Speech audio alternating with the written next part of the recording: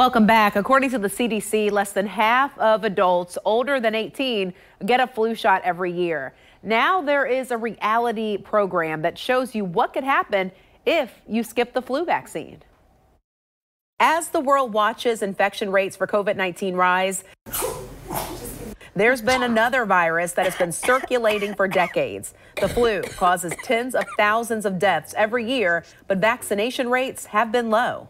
18 to 49 year old adults, young adults, um, typically don't get a flu shot. In fact, about 70% of people in that age group don't. I've just been too lazy to go do it. Now researchers have developed a virtual reality experience to show people the serious and sometimes deadly consequences of not getting the flu vaccine.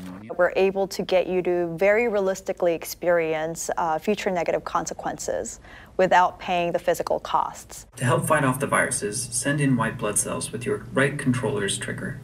In a study, they found most people who took part in the interactive virtual reality experience had a higher intention of getting the flu shot than those who watched a 2D video.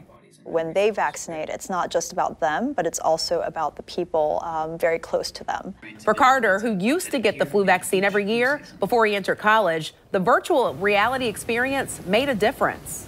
Kind of reminded me why I get the flu vaccine in the first place. You have just received this year's flu vaccine. Now, the team's goal is to have this available in a clinical setting where patients can learn why vaccines are so important.